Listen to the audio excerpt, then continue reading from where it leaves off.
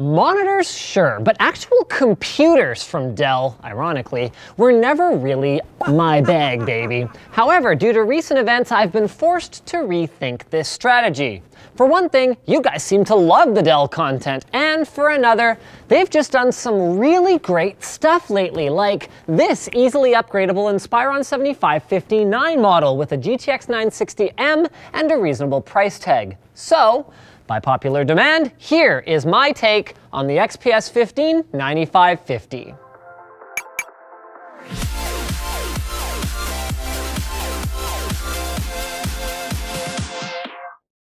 The Mastercase 5 by Cooler Master gives you the freedom to truly make your mid-tower PC case your own with a variety of modular parts and accessories. Check out the link in the video description to learn more. Okay, so I don't pay much attention to Dell, so I actually knew very little about the new Super Mario, excuse me, new XPS 15 when I pulled it out of the box, making these initial impressions very raw.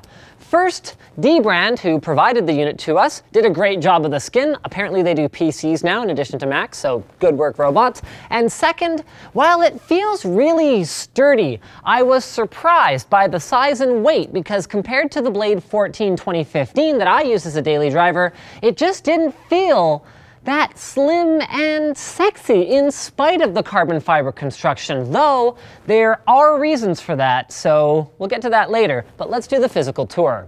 It really starts with the screen on this bad boy. On the one side of the slim, well-constructed panel, you'll find a Dell logo, surrounded in our case by a wood grain vinyl skin, and on the other side, the built-to-order Infinity Edge display. Dell boasts about the practically non-existent bezels, the viewing viewing angles and the color reproduction of this IGZO panel, and I've got to give it to them. It looks awesome. It gets bright enough for easy use in broad daylight, and more importantly for me, it gets dim enough without assistance from a third-party app for use at night in the dark. I went with a 1080p non-touch model because I was considering the 9550 as a Blade 14 replacement, and I was willing to trade display sharpness for battery life, but it's also available with a touch-enabled 4K IGZO display as well.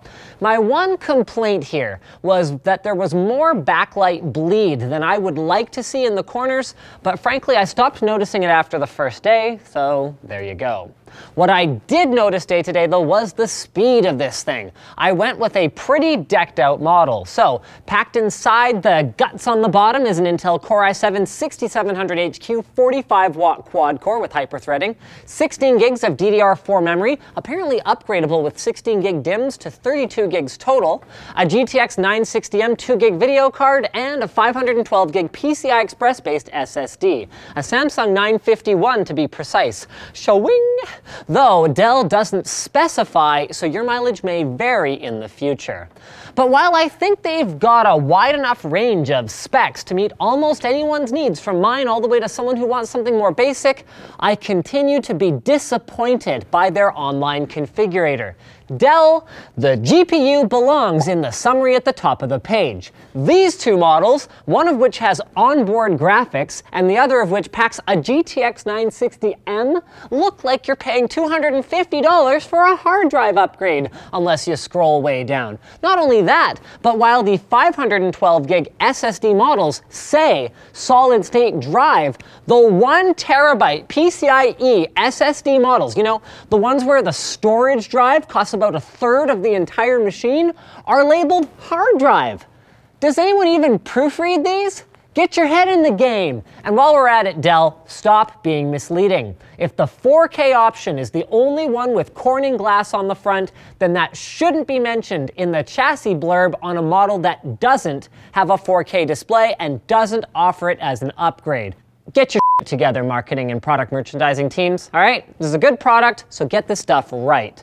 Because for me, actually, yeah, it is a good product. The XPS 15 9550 was mostly a treat to use. The I.O. is a very solid mix with SD, USB 3, a battery indicator, and a lock on the right, and a combo audio jack USB Type-C Thunderbolt 3 port with charging capability, HDMI, and another USB 3 port on the left. Thanks to the 6th gen processor and beefy battery, even my Core i7 model lasted me all day with ease. The two fans that take in fresh air through the vents in the bottom, then exhaust onto the lower bezel of the screen, keep the GPU running at full speed, and take advantage of that extra size I said I would get to this, versus the Blade 14 to stay reasonably quiet even under an extended gaming load. And, like that recently reviewed Inspiron, they turn off entirely during light use.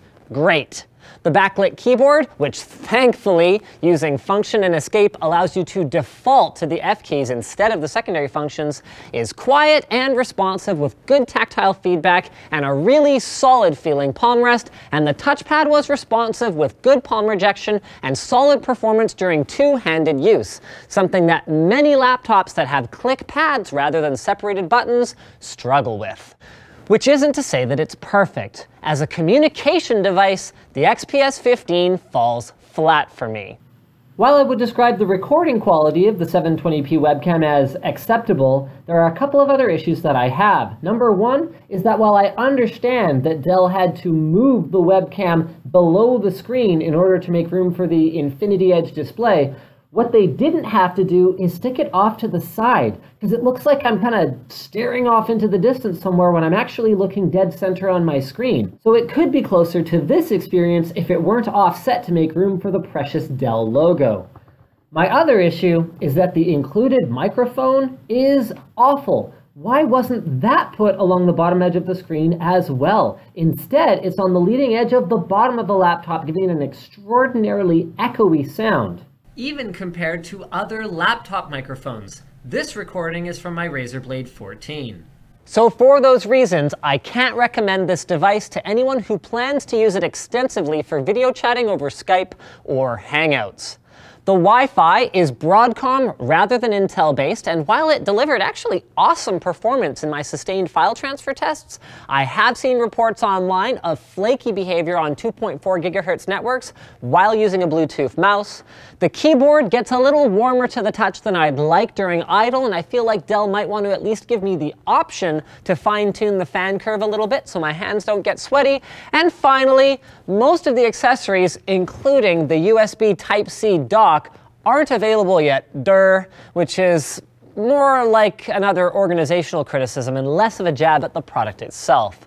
So in the grand scheme of things, these are some pretty minor complaints that I'm taking into my conclusion here, and here it goes.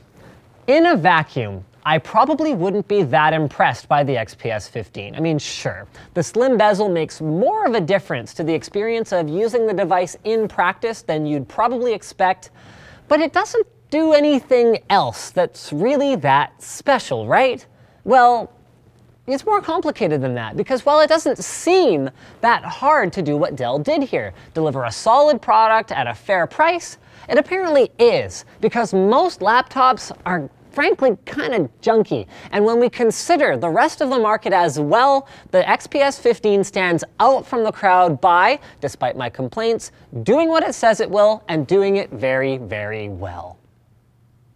Speaking of doing what they say they will and doing it well, Dbrand Skins makes pretty freaking sick skins for all kinds of devices. They've got their online configurator that lets you go, hey, look, this is my phone, or this is my game controller, or my game console, or my MacBook, or whoa, they've got PCs now, including the XPS 15. And you can actually use that configurator to mock up all kinds of different combinations of skins so you can personalize your device exactly the way you want to. And there's a practical component to it too.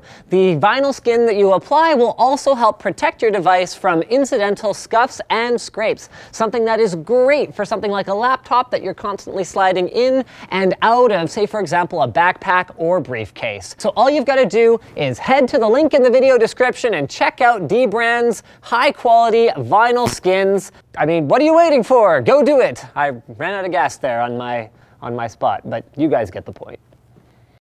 All right, so thanks for watching, guys. If you disliked this video, hey, you know what to do. But if it was awesome, get subscribed, hit that like button, or even consider supporting us directly by using our affiliate code to shop on Amazon, instructions for which are up there, by buying a cool shirt like this one, or with a direct monthly contribution. Links for all that stuff is in the video description. Now that you're done doing all that stuff, you're probably wondering what to watch next, so click that little button in the top right corner to check out this video that we're previewing here right now, I guarantee you it's amazing.